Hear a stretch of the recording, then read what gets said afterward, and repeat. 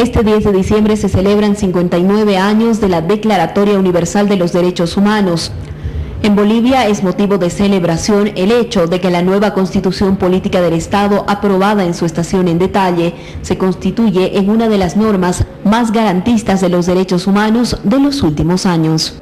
no solamente se han reconocido los derechos individuales, sino también se han incorporado los derechos colectivos. Se ha reforzado lo que son las garantías constitucionales, es decir, se nos ha dotado a todos los ciudadanos y ciudadanas de nuevas herramientas y mecanismos para defender nuestros derechos. Pero además el Estado se ha reconocido como principal obligado al respeto, a la protección y realización de los derechos humanos. En ese sentido, sentimos traducidas en este texto constitucional las propuestas que miles y miles de bolivianos y bolivianas hemos llevado a la Asamblea Constituyente.